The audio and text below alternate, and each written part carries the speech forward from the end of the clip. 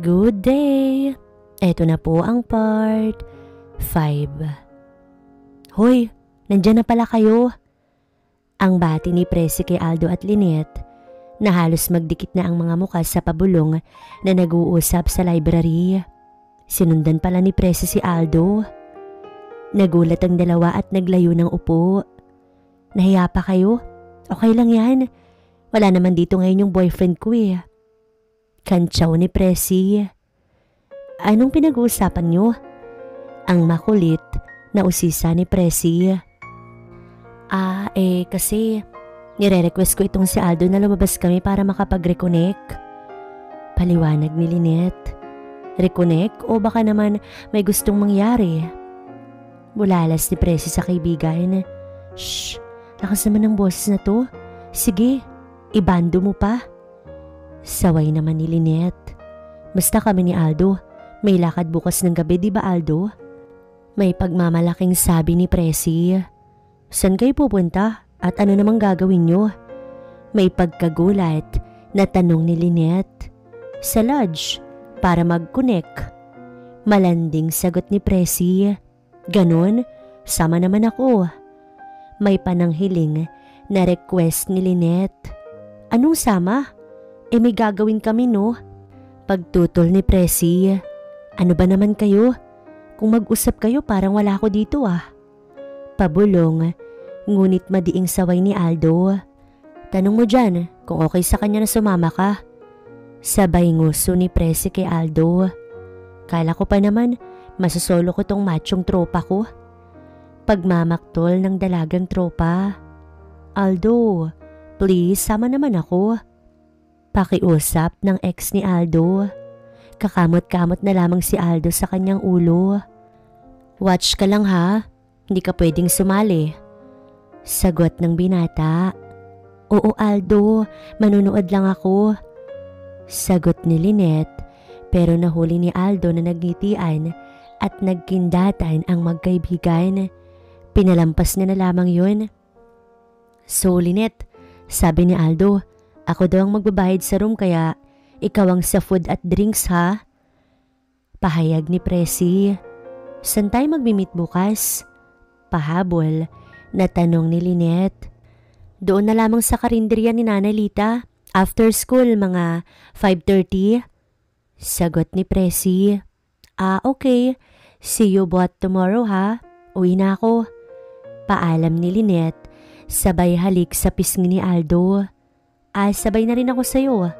Sabi ni Presi sabay tayo at halik din sa pisngi ng binata at nag-high five sa best friend. Naiwan si Aldo na tuliro. Hindi pa lubos na unawaan ang kapapangyari lamang. Ha? Anong nangyari? Parang hindi ako kasali sa desisyon ah. Kakamot-kamot sa batok ang binata. Lumabas na rin ang binata sa library. May nag-text sa kanya at si Miss Reyes. Aldo, dinner tayo after school. Usap tayo ulit. Sunduin mo ko sa faculty. Okay ma'am, so 5 kita susunduin. Maybe 5.15? Alas 5 pa lang ay nakatambay na si Aldo sa labas ng faculty. Sinong inaantay mo dyan Aldo? Tanong ng isang female faculty na dumaan. Ah, si Miss Reyes po ma'am. Ngumiti at tinignan na makahulugan ng teacher si Aldo. Napangisi naman ang binata. Eksaktong 5.15, lumabas sa faculty si Miss Reyes. Titig na titig si Aldo. May ibang pintig ang kanyang puso. Mahal na nga niya ang guro. Hi Aldo, matagal ka bang naghintay? Ah, kararating ko lang ma'am. Pagsisinungaling ni Aldo. Agad na inakap ni Miss Reyes ang braso ng binata. Habang sila naglalakad, mapapansin na pinagtitinginan sila ng mga estudyante. May maririnig pang mga comments tulad ng, Sila na ba talaga? Swerte ni Aldo ah. Nakakaingit naman. San tayo mama? Tanong ni Aldo. Okay ka kung sa Max tayo? Ma'am, eh kulang yung pera ko eh. Ano ka ba? Siyempre ako ang taya. Ako ang may trabaho eh. Nakangiting sagot ni Miss Reyes. Nakakahiya naman ma'am, palaging ikaw na lang ang nagbabayad. Pag may trabaho ka na, ikaw ang laging pagbabayarin ko. Malambing na sagot ng guro. Of course ma'am, ako yung laging magtitreat sa'yo. May ngiting paniniguro ng binata. Maraming tao sa restaurant pero may nakuha silang bakanting lamesa. Meron pa silang nakita na ilang kilala from the university. Pero baliwala lang kay Miss Reyes. Napakalambing nito sa binata na medyo naiilang naman. Hindi kasi nasanay. Dati, hindi nga niya hinahawakan ng guro kahit sa kamay. Pag sa public sila pero ngayon, panayang yakap sa kanyang braso at kamay at may pahaplos-haplos pa ang guro. Nang nakaupo na sila magkatabi, Bumulong si Aldo. Ma'am, bakit ang sweet-sweet niyo sa akin? Ayaw mo ba? Malambing na sagot tanong ng dalaga. Gusto ma'am, hindi lang ako nasanay na ganito tayo in public. Eh di masanay ka na. Matamis na tugon ng gurong ka-MU. Dumating ang waiter at umorder si Miss Reyes. One whole chicken, pakichop na ha. Two fresh lumpia, pansit kanton at sagwat gulaman drinks. Dami naman ang in-order mo, ma'am. Eh, kaya natin yan. Kaya mo yan. Laki kaya ng katawan mo. Pabirong sabi ng dalaga. Masaya ang dalawa at hindi man lang nabanggit ang nangyari kaninang pagsugod ni Natalie. Pagkatapos kumain, nagyaya si Miss Reyes. Tara, punta tayo sa hotel. Halos mabilaukan si Aldo dahil sa pagkabigla. Ho hotel, ma'am? Anong gagawin natin doon? ano bang iniisip mo? May magaling daw na guest singer tonight. Manunood tayo. Ikaw ha? May plano ka ata sa akin. aliw na aliw na sagot ng dalaga. Ikaw kaya ang nagbanggit ng hotel, ma'am. Hindi naman ako eh. Nahihiyang sagot ni Aldo. Aldo, matanong ko lang, eh ilan na ba yung nakakasama mo sa higaan? Halos maiboga ni Aldo ang tubig na kanyang iniinom. Tinignan ng kaem yung guro at sinisigurado kung ito ay seryoso. Mukhang serious ang dalaga pero hindi naman makasagot si Aldo. Sagutin mo, kung hindi, kukurutin kita dyan. Babala ng dalaga. Napilitan si Aldo na sumagot pero hindi masabi kaya nagmostra ng dalawang daliri. Talaga? Nakadalawa ka na? Mali, delete. Nakakadalawa ka pa lang? Tumango ang binata. Kilala ko ba? Patuloy na pagtatanong ng kaemyong guro. Eh marahil nakita mo na sila pero hindi mo naman kilala ma'am. Matapat na sagot ni Aldo. Taga-university ba? Yung isa ma'am, pero yung isa hindi taga rito sa Batangas. Ang ibig sabihin ni Aldo ay hindi taga Batangas City, pero pwedeng i-interpret ng nakarinig na hindi taga Batangas Province. Uminom muna ng tubig ang guro bago muling nagtanong. Kwento mo nga sa akin, in details ha. Kami mga babae, eh gusto yung detalyado. Anong in details, ma'am? May pagmaang-maangan na tanong ni Aldo. Eh, di yung pinagagagawa nyo. Diretsyong sagot ng dalaga. Medyo bumilog ang mga mata ni Aldo dahil sa gulat. Pabulong lang ang pag-uusap ng dalawa dahil maselan ang kanilang pinag-uusapan. Baka may makarinig ma'am. Huwag naman dito. Lumabas sila ng restaurant at sumakay ng tricycle papunta sa hotel na may mini concert. Bago pumasok sa hotel, nakiusap si Aldo. Ah ma'am, pwede bang saka na ako magkwento? Tinignan ng guro ang binata. Naawa siya dito kasi mukhang hiyang-hiya kaya sinabi niyang, Okay, next time na lang pag tayo lang dalawa. Pero make sure, you'll tell me everything as in all ha, okay? Promise ma'am, sasabihin ko sa'yo ang lahat. Nakahingang sagot ni Aldo. Pinanood ng dalawa ang mini concert. Magaling ang guest singer, so enjoy silang pareho. Ihahatid ng binata ang dalaga sa bahay na to pagkatapos ng concert. Pagpasok sa gate, agad na yumakap ang guro at hinalikan si Aldo sa labi. Mapusok ang halik ng dalaga. Tumingin sa may bintana ang binata. Nag-aalang ang makita sila ng mga magulang ng guro. Ayaw niyang mapahiya sa mga ito. Sa unang pagkakataon ay may nahawakan ang mga kamay ni Miss Reyes. Ah ma'am, baka makita tayo ng mga magulang mo. Wala sila Aldo. Pumunta sa Malvar, sa kapatid ni mama. Mamaya pa raw sila makakauwi. Paliwanag ng guro. Alas 9 pa lamang ng gabi. Tara, pasok tayo sa loob Aldo. Iyaya ng dalaga. Pumasok nga sila sa loob ng bahay. Maganda at magarbo ang loob ng bahay. Mukhang mga mamahali ng gamit. Feel at home ka ha. Kukuha lang ako ng juice. Pwedeng maki-CR ma'am. Ihing-ihi na kasi si Aldo. That door on the left. Miss Reyes pointed to the CR. Kahit ihing-ihi na, hindi agad makalabas ang ihi ni Aldo dahil sa kaba kaya medyo siya ay natagalan. Nang lumabas siya ng CR, ay nakangisi ang kaem yung guro. Ang tagal ah. Kantsaw ng dalaga. Halika, upo ka sa tabi ko at inumin mo tong juice na tinimpla ko. Tumalima naman ang binata. Pagkainom at pagkababa ni Aldo sa baso, Bigla siyang niyakap at muling hinalikan ng dalaga. Lumaban naman si Aldo. Bumulong ang dalaga. Ah, Aldo, gawin mo na sa akin yung mga bagay na ginawa mo doon sa may dalawang babae na sinasabi mo. Hindi, ma'am.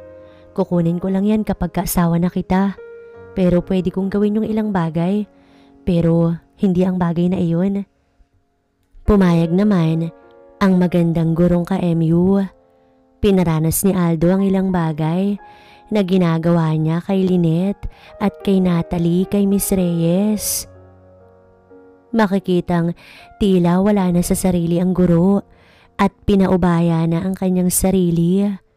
Wala na siyang pakailam na mga oras na yun. Napapapikit pa at napapahawak sa damit ni Aldo dahil na rin sa tinatamasa ng mga oras na iyon. Hindi nga nagtagal ay narating ni Miss Reyes ang rurok. Ngunit si Aldo hindi na pumayag na ibalik ni Miss Reyes ang ginawa niya rito. Um, Aldo, ayaw mo ba talaga? Next time na lang, ma'am. O sige, next time na lang. Pero from this time on, dapat ay honey na yung tawag mo sa akin. Malambing at matamis na tura ng dalaga. Yes, honey. Ang tugon ni Aldo. Alas 10.30 na ng gabi nang may nag-text kay Miss Reyes. Kinabahan si Aldo dahil akala niya ay sipin niya ang tumunog. Ay honey, pabalik na pala sila mami at papa. In 15 minutes eh nandito na sila. Ah, ganun ba? O sige na, Mag-ayos ka na ng sarili mo at aalis na ako. E baka mamaya abutan pa nila ako dito. Ang sabi ng binata. Tumayo sila at muling nagyakapan at naghalikan. Kapwa humihingal nang bumitaw ang kanilang mga bibig. Nang makapag-ayos, inihatid ng dalaga si Aldo sa gate. Sara mo agad tong gate ha? Bago sinara ang gate, sinabi ng gurong, Text mo ko pagdating mo sa inyo ha? Yes honey, malambing at may ngiting sagot ni Aldo. Habang nakasakay sa jeep, nakatanggap ng text si Aldo mula kay Miss Reyes na dumating na ang mga magulang na to. After 10 minutes, ay nakarating na rin siya sa kanilang bahay. Ay pinaalam agad ito ng binata sa dalaga. Habang nakahiga, Iniisip ni Aldo ang usapang pagkikita niya sa dalawang dalaga kinabukasan. Parang nakukonsensya siya. Mahal niya ang guro at pakiramdam niya ay mahal na nga rin siya na to. Pero baka totohanin ni Presi ang banta nito na ibibisto siya kay Miss Reyes Nakilala niya at nakasama pa niya yung GF ni Mr. Bulaklak na walang iba kundi si Natalie. Nakatulugan niya na ang bagay na bumabagabag sa kanya. Bukas ko na lamang po problemahin to. Ang huling nasa isip niya bago nakatulog. Nagising si Aldo alas 7 ng umaga dahil sa tunog ng kanyang cellphone. Si Miss Reyes tumatawag. Good morning honey. Kamusta yung honey ko? ang masigla at napakalambing na pagbati ng ka yung guro. Good morning, Han, honey. May pagkaasiwa ang pagtawag niya ng honey kay Miss Reyes. Yan, honey mo na talaga ako. Dinner tayo mamaya ha? Mamayang gabi? Eh naku, may group study kami for the coming finals, ma'am. Ah, uh, honey. Ganun ba? So, tomorrow na lang? Yes, sure. Tomorrow dinner tayo. Good. See you at the campus today, honey. See you later, honey. Pagtatapos ni Aldo sa university, after his first class, nakasalubong ni Aldo si Presi. Bumulong ito sa kanya. Ready for tonight? Tura nito sa kanya. Napapailing na lamang ang binata. Mukhang napasubo na. The day went by fast. Dumaan muna sa may faculty si Aldo para magpakita at magpaalam kay Miss Reyes. Ngiting-ngiti ang guro nang makita siya kaya naman feeling gwapo ang binata. Oh honey, galingan mo yung pagre-review ha. Sabihin mo sa study group mo dapat focus study lang kayo. Ang bili ng ka-M yung guro. Yes ma'am, ah honey pala. Tatawa-tawang sagot ni Aldo.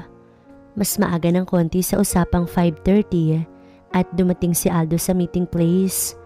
Umorder siya ng sandwich at soft drinks. Hindi nagtagal ay magkasabay na dumating ang magkaibigan na sina Lynette at Presi. Agad silang lumabas ng karinderya, sumakay sa tricycle at pumunta sa lodge. Na makapag-check-in sila at papunta na sa kanilang room, medyo nadidinig ni Aldo ang usapan ng dalawang room boys. Pare, dala-dalawa ang kasama. Ang gaganda pa. Swerte naman niya. Mukhang barako pare kaya kayang-kaya yan. Mukhang tatagal eh.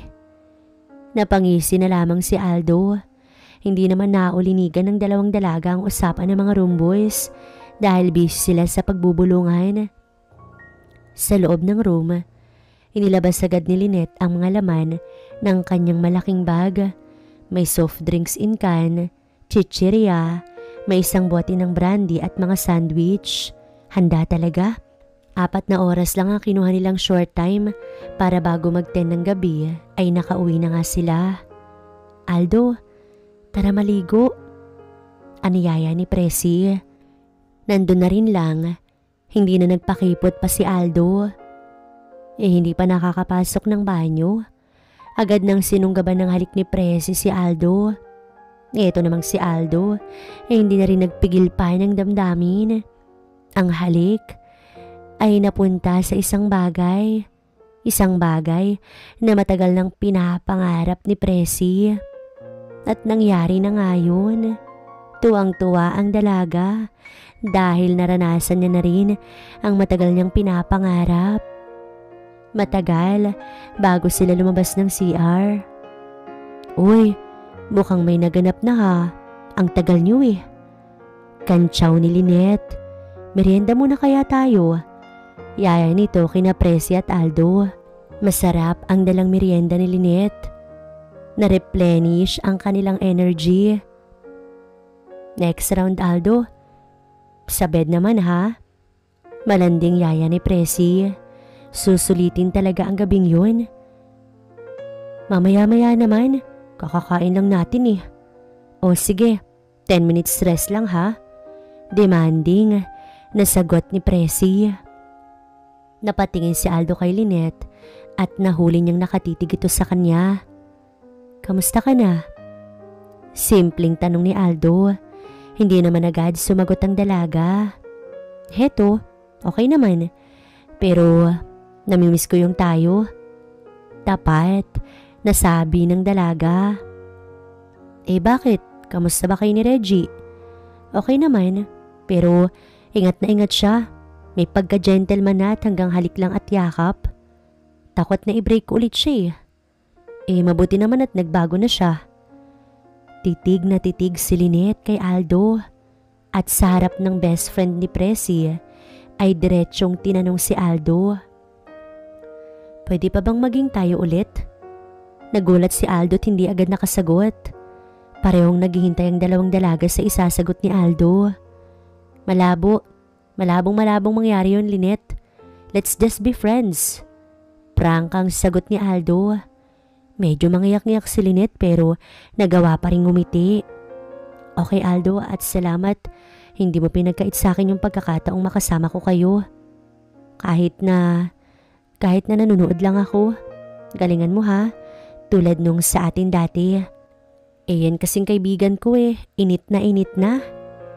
Ang litanya ni Lynette. Napangiti si Aldo sa mga sinabi nito habang si Presi ay panay lang ang tawa. Oh, naka 10 minutes na. Paalala kay Aldo, sabay hila dito patungo sa kama. Hindi mapigilang mamangha ni Presi dahil sa kamachuhan na taglay ni Aldo. Ang tagal kong hinintay ito Aldo.